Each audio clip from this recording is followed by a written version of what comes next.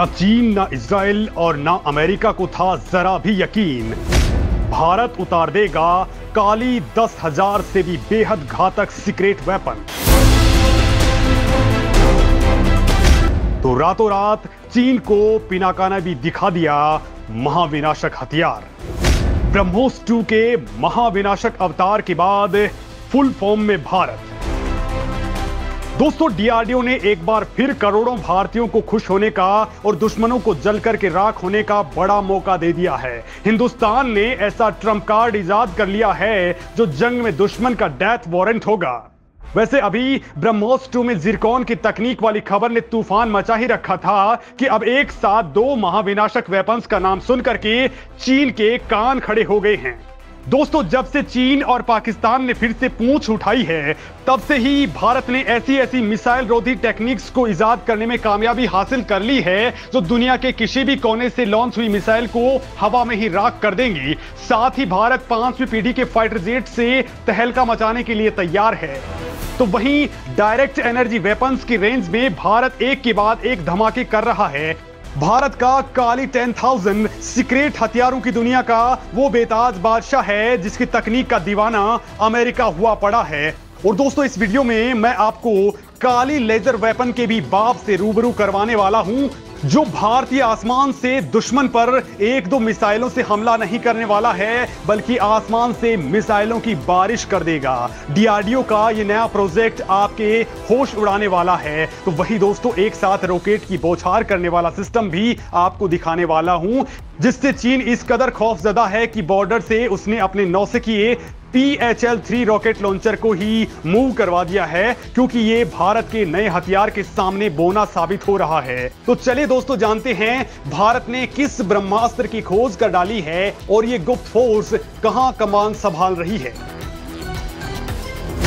भारत की गुप्त फोर्स ने थाम ली बॉर्डर की कमान। काली और दुर्गा टू से भी घातक प्रोजेक्ट करेंगे मिसाइलों की बरसात।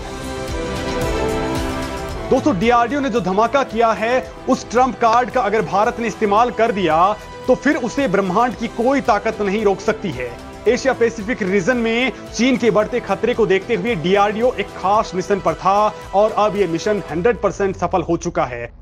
वैसे दोस्तों, अभी इसके बारे में ज़्यादा जानकारी सामने नहीं आई है, लेकिन दोस्तों, इसको लेकर के कुछ खुफिया रिपोर्ट सामने आई हैं, जिनमें खुलासा हुआ है कि भारत प्रोजेक्ट वेदा के साथ अब तहलका मचाने को तैयार है।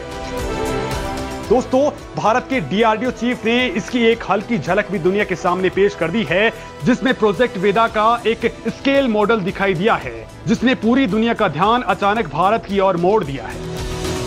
दोस्तों, भारत का ड्रीम प्रोजेक्ट वेदा इतना खास और खुफिया प्रोजेक्ट है, जिसकी क्षमता भारत को दुनिया में एक महाशक्ति बनाने वाली है। दरअसल दोस्तों प्रोजेक्ट वेदा एक मोबाइल सैटेलाइट लॉन्च व्हीकल है, जिसके पास वास्तव में इतनी ताकत होगी कि ये बेहद ही कम वक्त में आसमान से दुश्मनों पर सैन्य सैटेलाइट्स की बौछार कर सकता है। यानी दोस्तों, अगर भारत चाहे तो महज कुछ ही सेकंड्स में अंतरिक्ष में कई भारतीय सैटेलाइट्स भेज सकता है, जिनका इस्तेमाल कई अलग अलग सैन्य ऑपरेशंस में किया जा सकता है। तो दोस्तों, भारत का कौन सा दुश्मन इस फोर्स का पहला शिकार बनेगा, इसकी पूरी तफसील में आपको देने वाला हूँ। हिंदुस्तान के दुश्मनों के खिलाफ की गई हमारी मोर्चाबंदी के बारे में आपकी राय क्या कुछ है, वो कमेंट में लिख करके आप भी बताते रहिए। तो दोस्तों, समझते हैं कि आखिर भारत इसका इस्तेमाल कैसे करने वाला है। तो दरअसल दोस्तों सैटेलाइट किसी भी देश के लिए सबसे बेहतर एसेट होते हैं।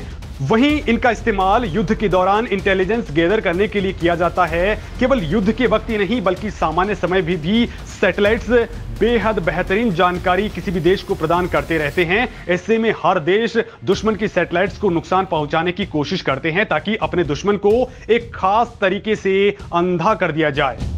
और आप इन दिनों देख ही रहे हैं कि किस तरह से चीन भारत की मिसाइलों को हिट करने के लिए लगातार कोशिश कर रहा है। कोई भी देश दुश्मन की सैटेलाइट्स को तबाह करने के लिए ज़्यादातर ए सेट यानी एंटी सेट मिसाइल का इस्तेमाल करता है और दुनिया में केवल गिनती के ही देश हैं जिनके पास ये टेक्नोलॉजी मौजूद है। उनमें से भारत भी एक है और चीन के पास भी एंटी सैटेलाइट मिसाइल टेक्नोलॉजी मौजूद है। यानी कि देखा जाए तो युद्ध के दौरान चीन भारत के सैटेलाइट्स पर एक के बाद एक हमले कर सकता है। ताकि भारत को इंटेलिजेंस लेने से रोका जा सके, लेकिन भारत अब चूँकि इस चीज़ को समझ चुका है, इसलिए भारत ने पहले से ही इसकी तैयारी कर ली है और अगर युद्ध के दौरान चीन भारत के सैटेलाइट्स पर हमला करता है तो हम ये मानकर चलते हैं कि भारत के सारे सैटेलाइट चीन अपने सैटेलाइट मिसाइलों के ज़रिए गिरा सकता है। वहीं पर दोस्तों, भारत का प्रोजेक्ट वेदा अपनी रिपीट और दोस्तों, उसी वक्त भारत का ये प्रोजेक्ट वेदा अपनी असली ताकत दिखाएगा। वेदा कुछ ही मिनटों में एलईओ, यानी लो अर्थ ऑर्बिट में सैटेलाइट्स को भेजने की क्षमता रखता है। यानी कि युद्ध के दौरान अगर भारत के सारे मिलिट्री सैटेलाइट्स खत्म हो जाएँ तो भी भारत कुछ ही घंटों में अपने सैटेलाइट्स का एक बड़ा जखीरा अंतरिक्ष में खड़ा कर देगा, जहाँ से दुश्मनों पर सैन्य मिसाइलों की बौछार शुरू हो जाएगी। दोस्तों, दरअसल वेदा अग्नि फोर मिसाइल के रॉकेट की तरह बनाया गया है। यानी कि इसे अग्नि फोर मिसाइल की तर्ज पर ही विकसित किया जा रहा है जिसकी मारक क्षमता 3,500 किलोमीटर की है। वेदा एक मोबाइल सिस्टम होने वाला है यानी कि हमेशा ऑपरेशन के लिए तैयार रहेगा। इसके साथ ही दोस्तों वेदा का रॉकेट केवल सैटेलाइट्स को ही अंतरिक्ष में नहीं छोड़ेगा बल्कि और कई तरह के काम करने में भी सक्षम होगा। ये अंतरिक्ष में सैटेलाइट का इंटरसेप्शन और हार्ड किल से टारगेट को तबाह करने में भी सक्षम होगा। यानी दोस्तों वेदा एक ऐसा रॉकेट होने वाला है जो बस अंतरिक्ष में ढेरों सैटेलाइट्स को कुछ ही घंटों में लॉन्च करने की क्षमता रखेगा। बल्कि ये दुश्मन के सैटेलाइट्स को तबाह करने की काबिलियत भी रखेगा, यानी कि ये काफ़ी वर्सेटाइल सिस्टम होने वाला है। यानी दोस्तों, चीन भारत को लेकर के लाख कोशिशें कर ले, चाहे कितने भी हथियार पैदा कर ले, सच्चाई तो यह है कि भारत जिन हथियारों को अपनी तकनीक से तैयार कर रहा है, वो एक हथियार ही चीन के ज़्यादातर हथियारों पर भारी पड़ जाएगा। और दोस्तों, अब आते हैं दूसरे घातक हथियार पर, जिसका नाम है पिनाका रॉकेट सिस्टम।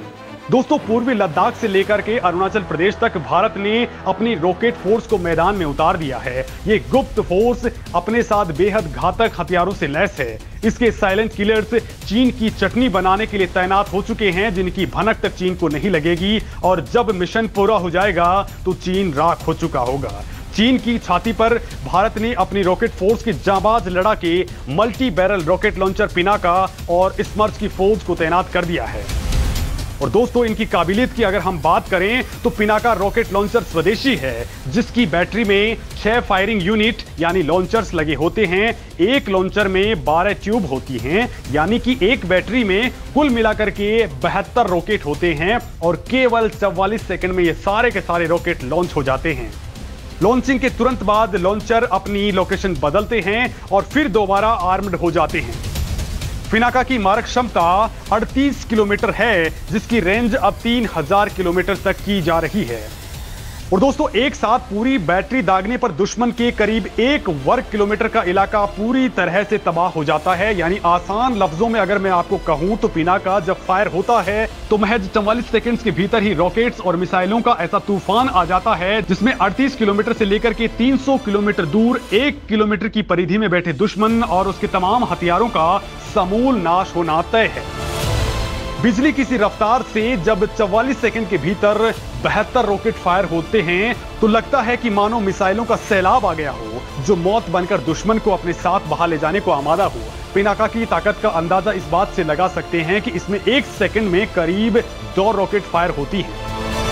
इसकी यही खूबी है और मारक क्षमता इसे दुश्मन का काल बनाती है। और दोस्तों, अब भारत ने इस पिनाक का भी बाप तैयार कर लिया है। भारत ने पिनाका मार्क थ्री तैयार कर लिया है और इसकी रेंज अब 38 किलोमीटर से बढ़कर के 300 किलोमीटर तक हो चुकी है। ये गाइडेड रॉकेट वेरिएंट होगा। दोस्तों, पिनाका मार्क थ्री के तूफ़ान का ऐसा खौफ मिलने वाला है कि चीन ने अभी ही अपने नाकारा पीएचएल थ्री नाम के रॉकेट लॉन्चर को मूव कर दिया है। दोस्तों, भारत अपनी रॉकेट आर्टिलरी को और ज़्यादा मज़बूत कर रहा है, जो आने वाले वक्त में चीन और पाकिस्तान को चुटकियों में मसलने का मादा रखेगी। आप क्या कुछ इस मामले में सोचते हैं? कमेंट करके ज़रूर बताएँ